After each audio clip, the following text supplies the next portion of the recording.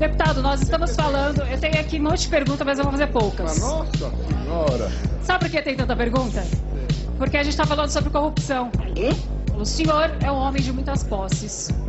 Diria que o senhor é um, é um milionário, mas de que, que vale ser milionário se o senhor não pode viajar para fora do Brasil? Posso viajar, só que você não será convidada. Eu vou com a Silvia. O senhor não tem medo da, da Interpol parar a sua viagem? Não, senhora, porque aqui, eu repito, aqui tem Estado de Direito. O senhor está sendo acusado, só o senhor sozinho, de ter desviado cerca de um bilhão de reais da Prefeitura de São Paulo. E aí? Você falou acusado? Você falou acusado. Então vou lhe dizer que é mentira. Isso é uma acusação do Ministério Público de São Paulo. Dá licença.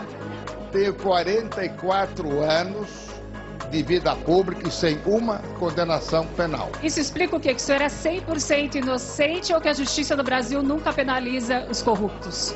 Eu quero dizer se corrupção existe, é da senhora sua mãe. Isso, deputado. Ah, ah.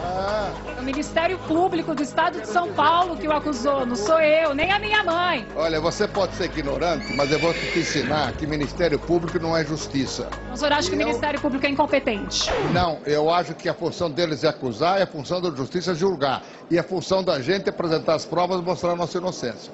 Mais alguma coisa? Pergunta para a senhora sua mãe. De novo.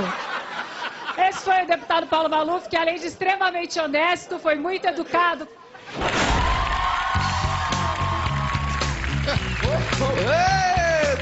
Paulo, que feio, perdeu a compostura, doutor Paulo. Aliás, doutor Paulo, o senhor tem razão, o Ministério Público não é justiça, mas, mas, vou lembrar aqui os nossos telespectadores que o senhor responde a três ações penais no STF, doutor Paulo. Que é justiça sim, o STF. Inclusive é nessa daí que o senhor é acusado de lavagem de dinheiro. Tá certo? E quem chegou ao valor de um bilhão de reais? Ah, não foi o CQC, não. Foi o ministro Ricardo Lewandowski, que é da Justiça.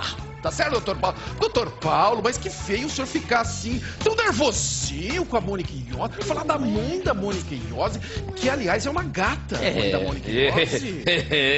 Falar assim, ó. Aliás, ó, vale aquela regra que a gente aprende desde criança. Xingou a mãe, perdeu a razão, doutor Paulo. Verdade. Perdeu a razão. Cara.